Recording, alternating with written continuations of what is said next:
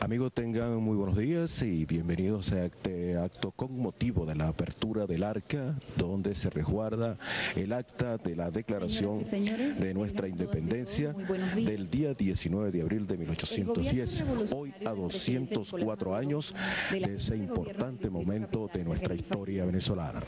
En este momento, el presidente del Consejo del Municipio Bolivariano Libertador,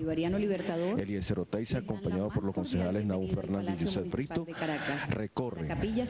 el pasillo hacia la Capilla Santa Rosa de Lima, donde se encuentra el arca y posterior allí llevar este acto protocolar de la apertura. de este importante documento con la Guardia de Honor que ciudadano mayor dejó reflejado la firma presidente del de Consejo del Municipio nuestros héroes de la patria, quienes es, por los ciudadanos por supuesto fueron los encargados de Fernández dar inicio a esa gesta independentista de nuestro país.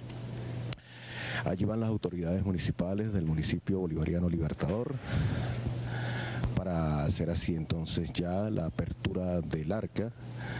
donde se encuentra el acta